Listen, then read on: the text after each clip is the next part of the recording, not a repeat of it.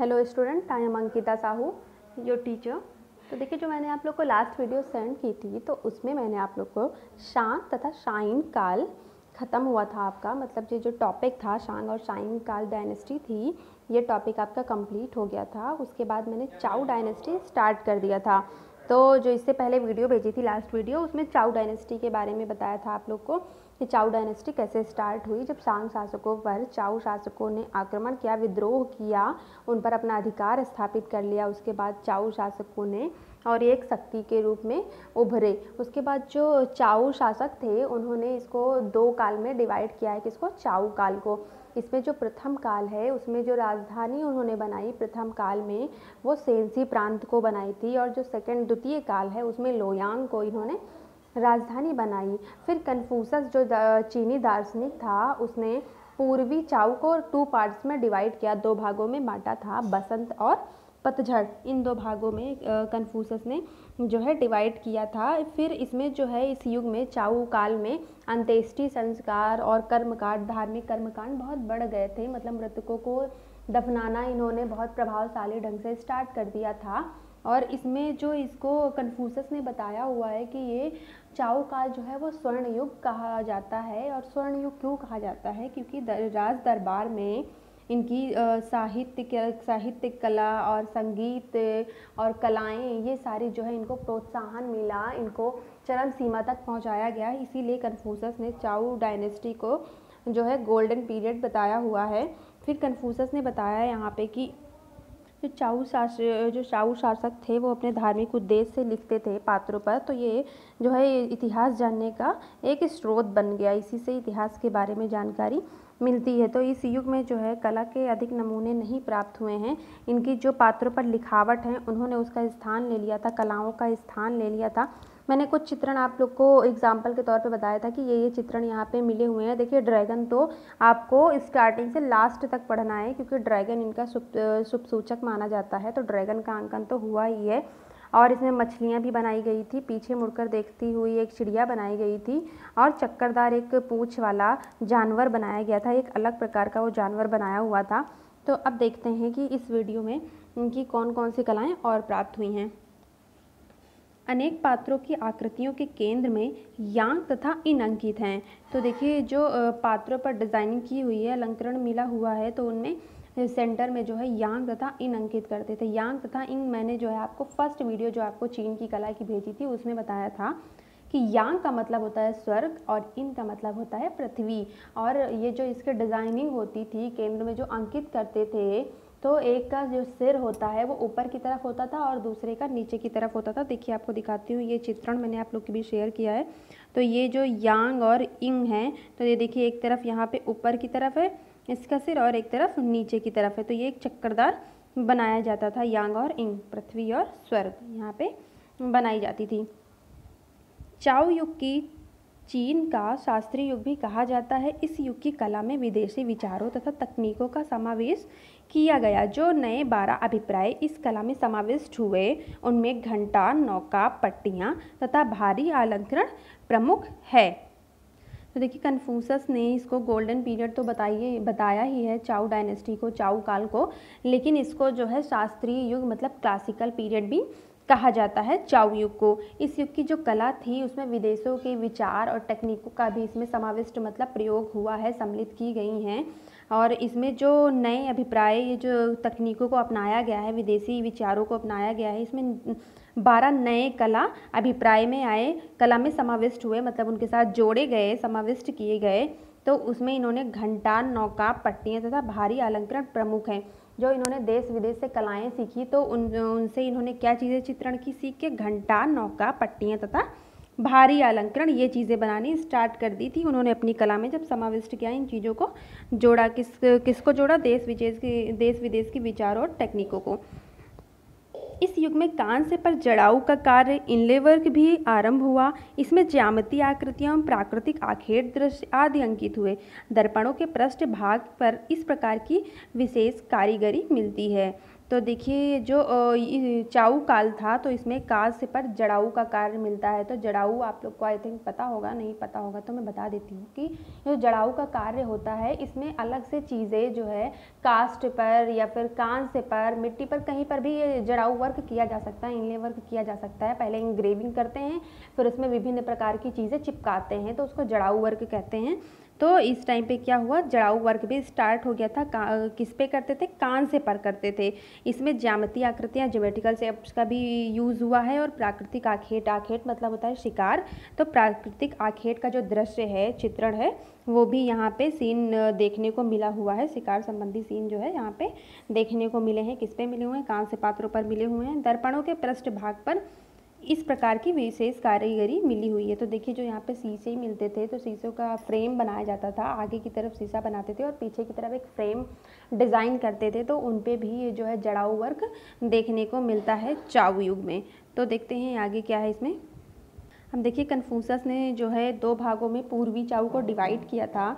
तो वो बसंत और पतझड़ मैंने आप लोग को बताया था। तो बसंत और पतझड़ के बारे में यहाँ पे थोड़ा सा डिटेल में पढ़ेंगे कि क्या है, क्योंकि कन्फ्यूशसवाद कई बार और कन्फ्यूशस के बारे में लिखने को आ जाता है चाऊ डायनेस्टी के अंतर्गत। और ये नहीं देते हैं कई बार क्वेश्चन कि चाऊ काल के बारे में लिखिए, बस वो कन्फ्यूशस के बारे में पूछ लेते हैं। तो कन्फ्यूशस का बसंत तथा पतझड़ युग देख लेते हैं, जो 722 ईसा पूर्व से चार सौ इक्यासी ईसा पूर्व तक चला था। चाउ शासनकाल के अंतर्गत बसंत तथा पतझड़ के युग में चीन में लोहे का प्रयोग हुआ और खेती के सुधरे उपकरण प्रयोग में आने लगे। तो देखिए, जो चाउ शासनकाल है, इसके अंतर्गत बसंत और पतझड़ जो युग कन्फ्यूशस ने बताया है तो इसमें क्या हुआ? चीन में लोहे का प्रयोग होने लग गया। देखिए, मैंने आप लोग को अभी तक अस्थि उपकरण बताया कास्ट से उपकरण बताए, बने हुए, कांस्य से बनाए, मिट्टी से बताए मृण पात्र बताए, लेकिन जो है अभी क्या है, इसमें बसंत और पतझड़ जो युग बताया, इसमें लोहे का भी प्रयोग मानव करने लग गया था। जो चाउ शासनकाल के लोग हैं, वो करने लग गए थे। तो इससे क्या हुआ, खेती में और भी जो सुधरे उपकरण थे मतलब और भी जो है, उनको अच्छे से उपकरण बनाने लग गए। जो खेती में यूज़ हों, उस तरह के उपकरण बनाने लग गए और ये प्रयोग में लाने के लग, लाने लग गए। किससे बने हुए? लोहे के बने हुए। प्रसिद्ध चीनी, दार्शनिक कन्फ्यूशस इसी युग में हुआ, जिसने अपने समय से पूर्व के समस्त ज्ञान का संकलन किया, जो अब तक केवल ऊँचे राज्य के अधिकारियों तक ही सीमित था। अब देखिए, जो प्रसिद्ध दार्शनिक कन्फ्यूशस है तो बताया मैंने आप लोगों को कि कन्फ्यूशस जो है वो चीनी दार्शनिक था। तो इसने क्या किया, इस युग में चाऊ काल में, इसने जो पहले का ज्ञान था, पूर्व ज्ञान था, सारा समस्त ज्ञान था, उसको एकत्रित किया, संकलित किया अपने मतलब जो इसका ज्ञान था उसमें उसको सम्मिलित किया। तो संकलन मतलब होता है एकत्रित करना तो ज्ञान को उसने एकत्रित किया। और वो जो ज्ञान था, पूर्व ज्ञान था, वो उस टाइम पे बस उच्च अधिकारियों तक ही सीमित था। तो इसने उन सब चीज़ों को एकत्रित करके अपने ज्ञान के भंडार में उसको सम्मिलित कर लिया। कन्फ्यूशस ने इस ज्ञान को प्रत्येक जिज्ञासुओं को देने की घोषणा कर दी। देखिए, जो ऊपर लाइन बताई हुई है कि राज्य की अधिकारियों तक ही सीमित था, जो पूर्व ज्ञान है, वो बस अधिकारियों, अधिकारी ही उनके बारे में जानते थे, जो उच्च राज्य के थे। लेकिन कन्फ्यूशस ने क्या किया कि जिज्ञासु, जो उनको जानने की इच्छा कर रखते हैं, जिज्ञासु मतलब होता है जानने की इच्छा रखना तो जो उसको जानने की इच्छा रखते थे, जो जो उसके जिज्ञासु थे तो उनको भी जो है घोषणा कर दी कि मैं उनको भी ये ज्ञान प्राप्त कराऊँगा, उनको भी ये ज्ञान दूँगा। अपने संकलन में उसने लोक कविताओं एवं गीतों को भी सम्मिलित कर लिया। देखिए जो लोग लिखा है तो यहाँ पे लोक होगा, आप लोग सही कर लीजिएगा। तो अपने संकलन में लोक कविताओं को उसने और गीतों को भी सम्मिलित कर लिया। मतलब इन सारी चीज़ों के साथ साथ जो पूर्वी ज्ञान था, उसके साथ साथ इसने जो है कविताओं और गीतों को भी महत्व दिया और जो उसका संकलन था ज्ञान का संकलन था, उसमें उसने सम्मिलित कर लिया।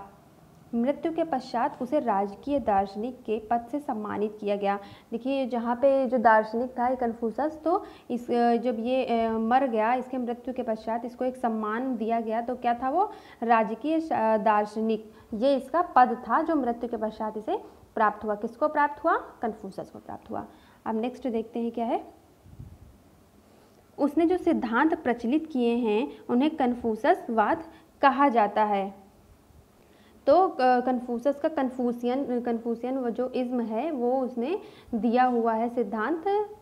अब आगे देखते हैं राजकीय जीवन राजसभा शिक्षा अकादमियों, चित्रण के विषय, सामाजिक आचरण, संस्कार तथा उत्सव, सभी पर उसकी शिक्षा और आदर्शों का प्रभाव पड़ा।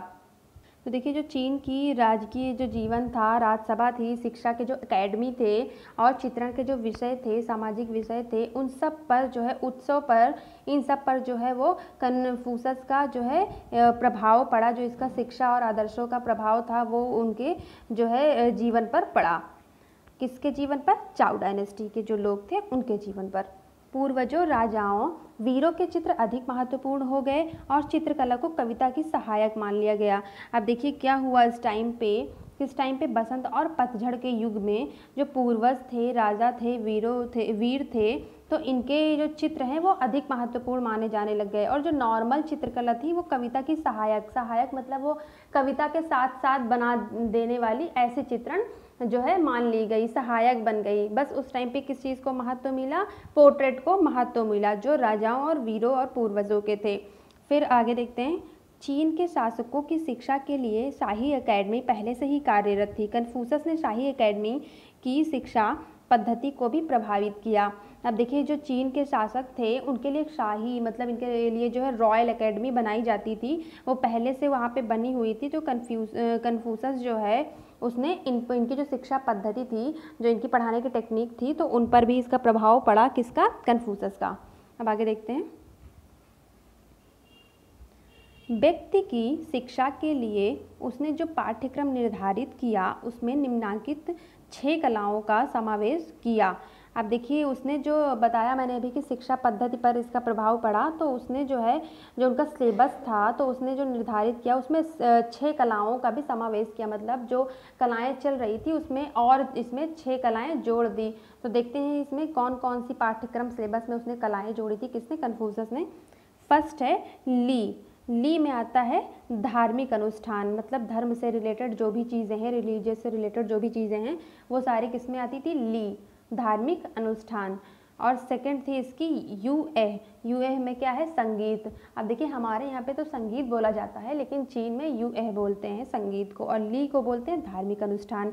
तो ये सेकंड है आपका यू ए और थर्ड है सिंह तो सिंह का मतलब हुआ कविता। तो इसने थर्ड जो है, कविता को भी जोड़ा। और फोर्थ है शु। शु मतलब होता है राजनीतिक लेखन। और फिफ्थ थी इसकी रथ विद्या और सिक्स थी इसकी जो है धनुर्विद्या मतलब धनुर्विद्या मतलब होता है जो धनुष बाण चलाना सिखाते हैं तो उसको धनुर्विद्या कहते हैं। और रथ विद्या भी इन्होंने जो है उसमें सिखानी स्टार्ट कर दी। जब कन्फ्यूसस ने इसको पाठ्यक्रम में जोड़ा इन सिक्स कलाओं को तो ये भी वहाँ पे जो है कलाएँ सिखानी स्टार्ट कर दी थी व्यक्तियों के शिक्षा के लिए। देखिए चाऊ डायनेस्टी में क्या करते थे जब राज राजा को ये दफनाते थे जब उनकी मृत्यु हो जाती थी तो उनके साथ साथ क्या करते थे ये सेवकों को भी दफ, दफना देते थे। मतलब उनके साथ जो भी सेवक कार्यरत होते थे उनको भी उनके साथ दफना देते थे जीवित दफना देते थे। तो कन्फ्यूसस ने क्या किया? कन्फ्यूसस ने राजाओं के साथ साथ सेवकों तथा परिवार जनों को जीवित यहाँ पे करने गलत लिखा है बेटा। तो यहाँ पे गाड़ने होगा, ये करने गलत लिखा है। तो यहाँ पे जीवित गाड़ने से रोका तथा उनकी खिलौने के रूप में प्रतिकृतियाँ दफनाने की प्रथा आरंभ की। तो क्या करते थे, जो राजा महाराजा होते थे, उनके साथ जीवित जो उनके परिवारजन होते थे, जिनकी इच्छा होती थी कि हाँ हमें इनके साथ दफनाया जाए तो उनको भी दफनाते थे। और उनके जो सेवक होते थे तो राजा महाराजाओं के साथ उनको भी जीवित दफना देते थे। तो क्या किया कन्फ्यूशस ने? कन्फ्यूशस को लगा कि हाँ ये चीज़ें तो गलत है कि जीवित इंसान को भी राजाओं के साथ दफनाया जा रहा है। मतलब एक की तो मृत्यु हो ही गई है, उसके साथ साथ और जीवित जीवित को भी हम मृतक बना रहे हैं। तो इसीलिए कन्फ्यूशस ने क्या किया? उससे रिलेटेड जो है एक खिलौना तैयार किया और उसकी प्रतिकृतियाँ मतलब जैसे सेवक है तो उससे उसकी तरह का एक कोई खिलौना, उसकी जो थोड़ी सी प्रतिकृति मतलब उसकी अनुकृति, प्रतिछाया उसने बनानी स्टार्ट की और क्या किया? उसके साथ दफनाना स्टार्ट किया। किसके साथ? जो मृतक होते थे, राजा महाराजाएँ, महाराजाओं, उनके साथ दफनाना स्टार्ट किया और उस प्रथा को बंद किया जो जीवित को दफनाते थे। तो खिलौने के, दफनाने की जो प्रतिकृतियाँ थी, वो कन्फ्यूशस ने स्टार्ट किया। आज इन्हीं के आधार पर तत्कालीन सभ्यता की अनेक बातों की जानकारी प्राप्त हो रही है।